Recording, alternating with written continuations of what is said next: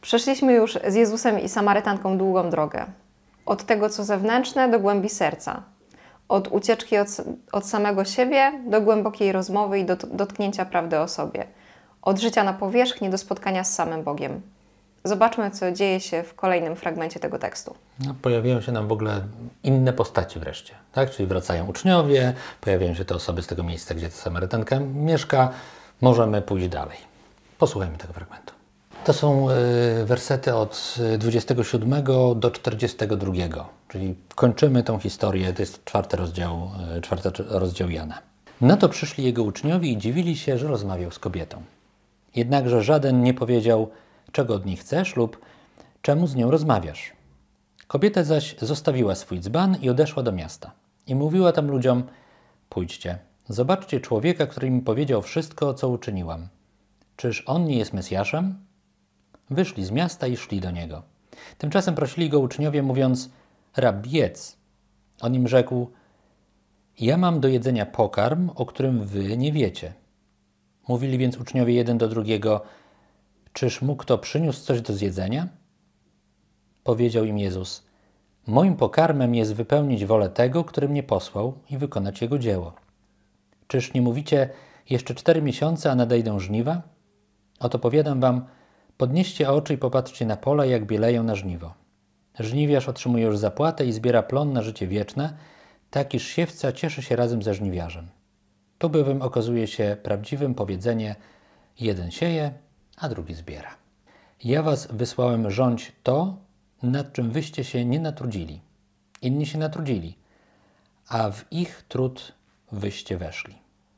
Wielu Samarytan z owego miasta zaczęło w niego wierzyć dzięki słowu kobiety świadczącej: Powiedział mi wszystko, co uczyniłam. Kiedy więc Samarytanie przybyli do niego, prosili go, aby u nich pozostał. Pozostał tam zatem dwa dni i o wiele więcej ich uwierzyło na Jego słowo, a do tej kobiety mówili: Wierzymy już nie dzięki Twemu opowiadaniu, na własne bowiem uszy usłyszeliśmy i jesteśmy przekonani, że On prawdziwie jest Zbawicielem świata. No więc przychodzą uczniowie. Właściwie sytuacja bardzo naturalna. Kupili co mieli kupić do jedzenia, wracają. Myślę, że dla mnie niezwyczajne jest to, że Jezus e, wybrał do, dokładnie ten moment e, na to, żeby porozmawiać z tą kobietą i dokonać uzdrowienia jej serca. Uczniowie nie wrócili ani wcześniej, ani później. Ten czas, który miał, e, można powiedzieć w cudzysłowie, że bardzo dobrze wykorzystał, że on był wystarczający. Nie była to pewnie długa chwila, ale spotkanie z Jezusem jest wystarczające na to, żeby dotknąć głębi naszego serca, jeżeli wejdziemy z Nim w dialog.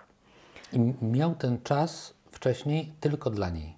Teraz będą już inne osoby, ale to był ten, ten czas, kiedy Jezus miał ten czas tylko dla niej. Ona była w centrum zainteresowania, jakby to, co się między nimi Czyli dzieje. tak jak na modlitwie, że my potrzebujemy mhm. też e, intymnego spotkania z Jezusem, żeby dokonało się uzdrowienie naszego serca. A co więcej, tutaj w tym spotkaniu dokonuje się e, uzdrowienie też takich, e, no, takie psychologiczne. Spotkanie kobiety Samarytanki z mężczyzną Jezusem, w niej uzdrawia bardzo wyraźnie e, jej odniesienie do mężczyzn. Zobaczmy, że ta kobieta, która e, potrzebowała wcześniej potwierdzenia w mężczyznach, ona potrzebowała tego, że oni e, wypełnią ją mm, swoją miłością, czego jej nie dawali. Teraz, kiedy przychodzą kolejni mężczyźni, ona co robi? Ona odchodzi. Ona już nie potrzebuje e, kolejnych mężczyzn. Ona spotkała tego właściwego mężczyznę, który uzdrowił głębiej jej serca. Ale było to możliwe wtedy, kiedy e, ona spotkała się z nim prawdzie, kiedy spotkała się z nim taka, jaka jest. Nie wyciągnęła swojego awatara, nie ubrała się pięknie i nie udawała, że nie, nie, jestem e, właśnie tutaj świetna i mam super uporządkowane życie rodzinne i mogę się spotkać teraz z Mesjaszem. Nie, ona spotkała się w takiej kondycji, w jakiej była. I tym bałaganie też do Pana Boga przychodzimy. Rzecz w tym, e, na co zwracamy uwagę cały czas, rzecz w tym, że te kolejne elementy pojawiają się w nieprzypadkowej kolejności, że tego nie można zamienić. Czyli na sam koniec widzimy, że ona jest gotowa do tego, żeby odejść od tego spotkania jeden na jeden z Jezusem, pójść do innych i im opowiedzieć, co się wydarzyło. Ona jest gotowa do tego, co dzisiaj byśmy powiedzieli, na taką misją ewangelizacyjną, głoszeniem innym, co się wydarzyło. Tylko ona najpierw musiała tego doświadczyć. To znów nieraz słyszałem, jak ktoś tam właśnie miał jakieś takie poczucie winy, że no to ja, ja nie głoszę, ja nie, nie, nie opowiadam innym, ja nie jestem, nie jestem w tej misji. Jak już się czegoś doświadczy, jak się tak spotka Jezusa i On przemieni moje życie, to to jest takie naturalne. Tam nie ma żadnego przymusu, należałoby ona, jak ona mogłaby o tym nie opowiadać innym? No ale po czym doświadczyć, jakby poznać w sobie, że ja właśnie teraz spotkałam Jezusa i już mogę iść głosić? Czy to są jakieś niezwykłe okoliczności, w których ja czuję Jezusa, że Go spotkałam i mogę iść głosić? No pewnie ta, ta, ta sytuacja pokazuje, że te okoliczności nie muszą być szczególne ale my mamy poczucie, wrażenie, że tam się wydarzyło coś bardzo szczególnego, coś, że mnie intuicja podpowiada, to nie było nic. No bo jeśli ja, ja, nie będę miał tego przekonania, no to o czym ja mogę opowiadać? No mogę opowiadać o tym, co od innych usłyszałem, mogę opowiadać o, yy, no, o czymś, co będzie nauką Kościoła na dany temat. Tu, tu jest ten element świadectwa, słowo, którego wiele osób nie lubi, nie wiem jak ty, ja też tak, nie, nie, nie, zawsze, nie zawsze koniecznie, ale takim to jest. Ona może opowiadać Jezus mi powiedział coś, czego nie miał prawa wiedzieć. On, on mi pokazał, kim, kim On jest. Ona może opowiedzieć o sobie i w tym naszym opowiadaniu innym my nie chcemy skupiać się na sobie i opowiadać o sobie, ale nie chcemy też opowiadać o Bogu w oderwaniu od mojego życia. To jest opowiadanie o tym, jak Pan Bóg działa w moim życiu, jak On działa cuda w moim życiu. I ona to będzie robiła. Czyli no, my czegoś musimy doświadczyć, czyli musimy mieć tą intuicję, no coś się wydarzyło, natomiast to może być w super zwyczajnych okolicznościach, jak w przypadku tego, tego wyjścia po wodę do studni. No to ja sobie pozwolę teraz na taką prywatę, która myślę, że może być e, doświadczeniem bardzo wielu osób, że ja nie muszę oczekiwać w swoim życiu na takie, wiecie, oświecenie, że teraz już na pewno jestem przekonana, że teraz spotkałam Jezusa i mogę iść Go głosić. Ale dla mnie każda Eucharystia to jest właśnie takie spotkanie z Jezusem, kiedy ja obiektywnie wiem, jestem pewna tego, że tam Jezusa spotkałam, chociaż mogę e, mieć słabszą kondycję, mogę dzisiaj, e, nie wiem, nie poczuć tego, że ja go spotkałam, ale w wierze jestem pewna, że on tam jest. I przypomina mi się e, ten, ten jeszcze raz, ta ikona Marko Rupnika, ta mozaika Marko Rupnika, w której widzę Jezusa, który ma wtopione te swoje nogi w studnie, czyli On jest studnią wody, wody żywej. I każda Eucharystia to jest właśnie takie czerpanie z tego źródła wody żywej, czerpanie z, ze stołu Słowa Bożego, ale ze stołu y, też y, ofiary eucharystycznej, kiedy karmię się samym y, ciałem Chrystusa. I co jest ciekawe, że tak nakarmiona jestem posłana przez Kościół do, do głoszenia tego, że właśnie spotkałam z Chrystu, Chrystusa, spotkałam się z Nim samym. Dlatego, że Eucharystia kończy się słowami i misa est. I można by to było przetłumaczyć: mm, idźcie, jesteście posłani. Idźcie, jesteście posłani do tego, że spotkaliście Jezusa. Idźcie głosić dobrą nowinę o tym, że On jest, że On jest źródłem wody żywej, że On jest źródłem miłości, że On jest w stanie zaspokoić głębie waszego serca. Czyli to, co, I... to, co ja powiem na, mhm. na koniec Mszy Świętej, idźcie w pokoju Chrystusa, nie znaczy idźcie i się schowajcie, ale idźcie, no i właśnie opowiedzcie o tym, żyjcie tym, czego żeście doświadczyli, inni będą to widzieć. Tak, i kończąc przez świętą, nie słyszymy od księdza, widzimy się za tydzień, albo pozdrówcie swoich w domu, tak? Ale idźcie misa es, idźcie, jesteście posłani, idźcie głosić Chrystusa. Mm? I to samo dzieje się e, właśnie w tej scenie. Kobieta zostawia swoje dotychczasowe życie, napełniona żywą wodą, idzie głosić, że właśnie spotkała e, tego, który dał jej doświadczyć e, spotkania ze sobą w prawdzie i dał jej rozpoznać Mesjasza, oczekiwanego Boga przez Samarytan, przez Żydów. I ważne będzie, i to też myślę, że jest takim ważnym elementem tych, tych naszych rekolekcji, kiedy dochodzimy już do punktu, w którym się pojawiają inne osoby, przy Jezusie i przy Samarytance. To jest ważne, to intymne nasze spotkanie z Panem Bogiem, ale ono nie jest wyizolowane. Ja i Pan Bóg nie interesuje mnie Kościół, nie interesują mnie inni. Tutaj rozwijam swoją duchowość. To, to, to, to, jest, to jest za mało. To może być danym etapem, ale on prowadzi do tego, żebyśmy byli, żebyśmy byli z innymi. Natomiast w tym, co możemy innym powiedzieć, no to możemy powiedzieć tyle, ile na ten etap doświadczyliśmy. Jeśli, jeśli to będzie ponad to, to, to będzie innym tam śmierdziało, że to jest jakieś nieautentyczne, że to jest nieprawdziwe, że to jest jakieś napuszone, że ktoś mnie poucza. Tak? Będziemy, będziemy natychmiast y, mieli zazwyczaj taki, taki dobry odruch, ja nie chcę w ogóle tego, tego słuchać. Natomiast jeśli to jest no właśnie takie żywe, bo ktoś czegoś właśnie doświadczył, czy to będzie właśnie to takie to doświadczenie bardziej rozumiem i wierzę, że to jest y, doświadczenie Pana Boga, czy, czy mam takie właśnie odczucie tego, jakkolwiek by to nie było, mam przekonanie, że to jest moje, no to tego chcę się słuchać. To się chcę nawet słuchać, bo to, to, to przecież nie są tylko słowa, to jest cała, cała kwestia postawy. Ale mm, dla mnie ważne y, w tych historiach biblijnych jest to, to jest jeszcze bardziej wyraźne w dziejach apostolskich dla mnie, że ci, którzy doświadczyli zmartwychwstałego, nie mogą o tym nie mówić. Tak, mogą wrzucać do więzień, mogą zakazywać, nie mogą nie mówić. Oni tego doświadczyli, zobaczyli, spotkali zmartwychwstałego. No i to jest tak ważna rzecz, że no, no jak ja miałbym nie powiedzieć najważniejszej rzeczy ludziom, którzy są obok. No chcę się podzielić tym, co jest najistotniejsze, najważniejsze w moim życiu. A co więcej, jak to jest autentyczne, to naprawdę ludzie idą i sprawdzają, czy ty mówisz prawdę. I to się dzieje tak samo tutaj. Tak? Oni już wiedzą potem nie tylko z jej głoszenia, ale sami spotkali, sami doświadczyli prawdy jej słów. Jak ktoś czyta Ewangelię Jana, będzie widzieć, że te same elementy się powtarzają. Czyli wcześniej było tak z apostołami, z uczniami Jezusa. Ktoś komuś powiedział, później już ma swoje doświadczenia, ale ktoś komuś powiedział.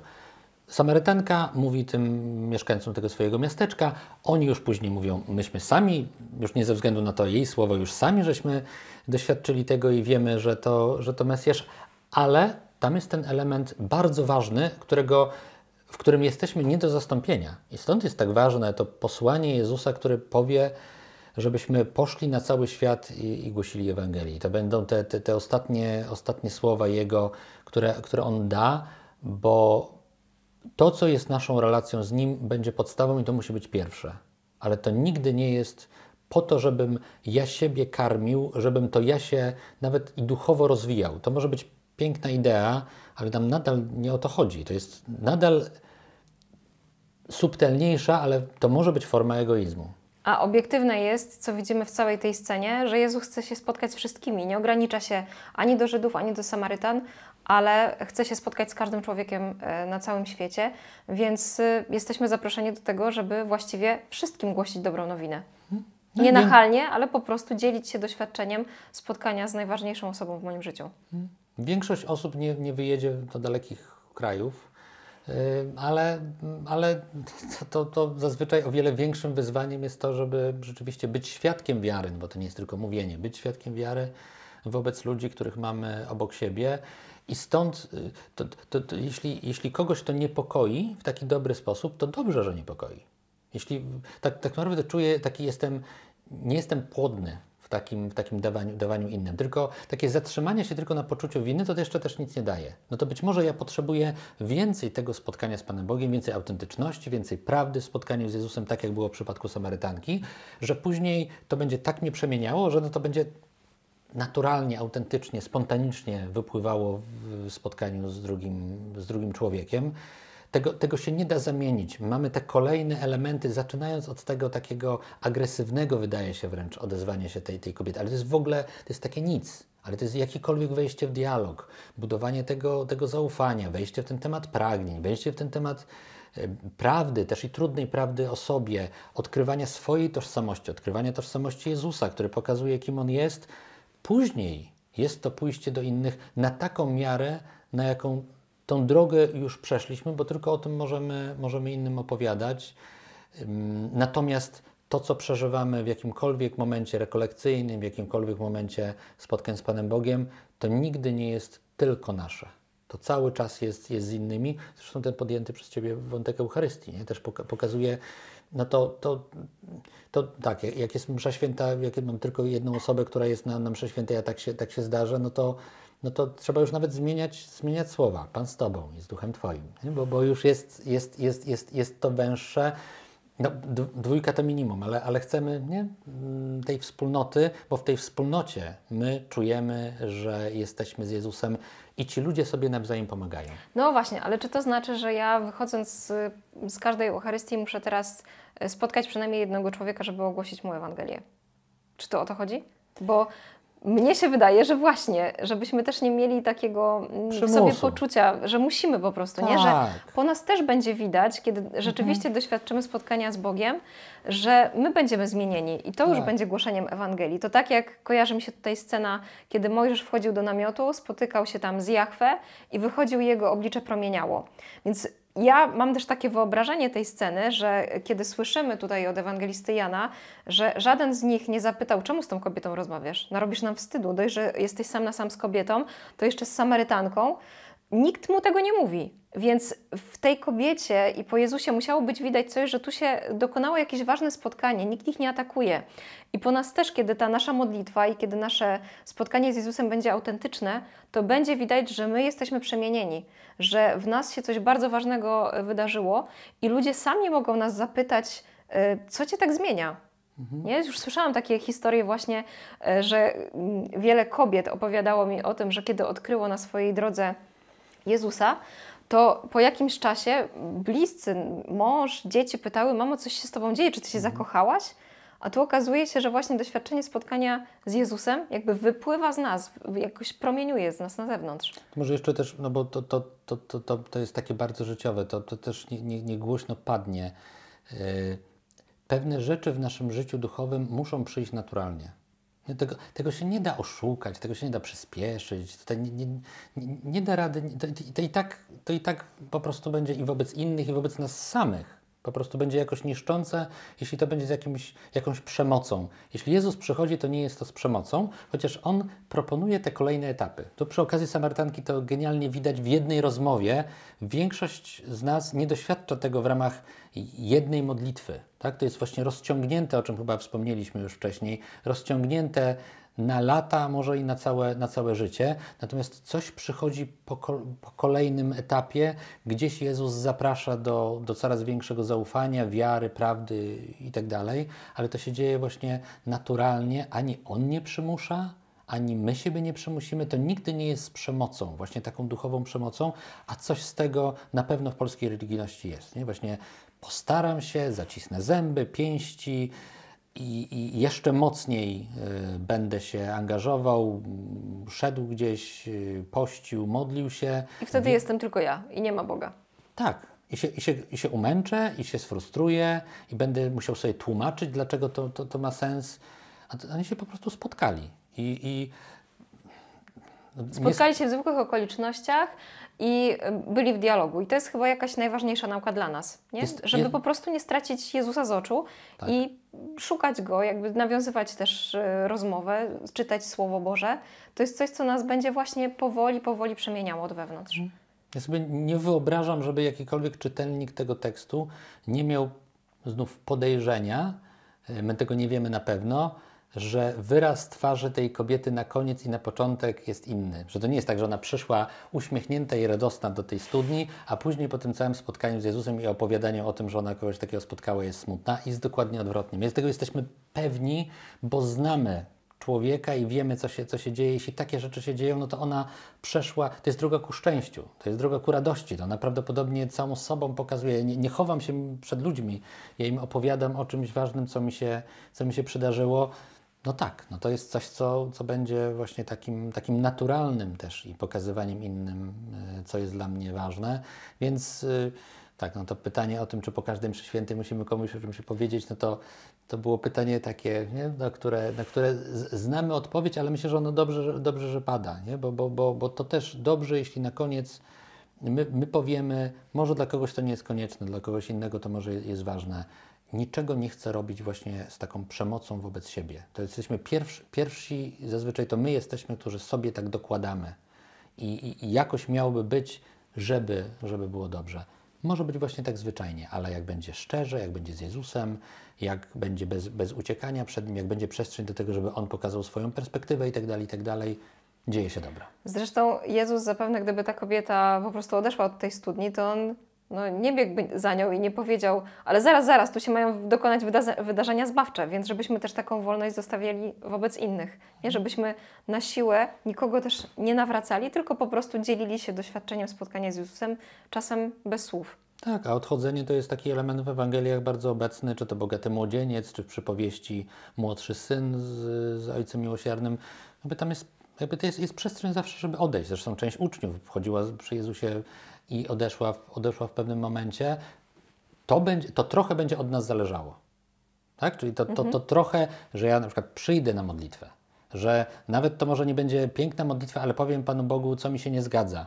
Dlaczego moje życie, nie wiem, jest właśnie takie, a nie, a nie inne i mi się coś, mi się coś, coś nie pasuje. Ten właśnie element takiej, takiej no właśnie takiego, takiego trudu początku, początku tej rozmowy. To jest ten drobny element, który my musimy dać. Właśnie nie uciec, nie schować się, nie zamknąć oczu naprawdę. Resztę robi Pan Jezus i, i to jest to wa- ważne. To On ma inicjatywy, to On prowadzi to.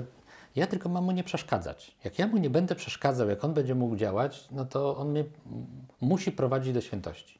To, to, to, to, to mnie musi prowadzić ku zbawieniu, ku, ku, ku sobie. To całe nasze zadanie to nie jest takie, że ja teraz muszę coś magicznego zrobić, wtedy to będzie dobrze. Byle pozwolić Panu Bogu działać, On wie lepiej, jak to wszystko, jak to wszystko rozwiązać. Pewnie tak, pewnie na tym, na tym to zawiesimy.